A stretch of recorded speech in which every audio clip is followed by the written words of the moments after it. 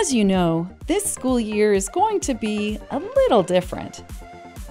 There are a few things that we all need to do to help keep each other safe.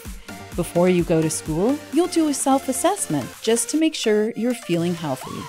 Next, be sure you have cleaned your hands before entering the school and make sure to wash them a lot. In fact, you'll be washing your hands throughout the day.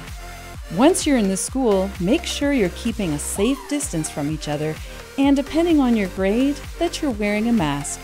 And if you have to cough or sneeze, do it into your elbow. If you're feeling sick at school, make sure you tell your teacher or a trusted adult. And if you wake up feeling sick, you'll have to stay home. There are lots of signs in your school to help you remember the new way of doing things and friendly adults who can help you whenever you have a question. These things are new for all of us, but they're what we need to do to keep each other safe and healthy. We look forward to meeting all of our new friends and being together again. See you in September!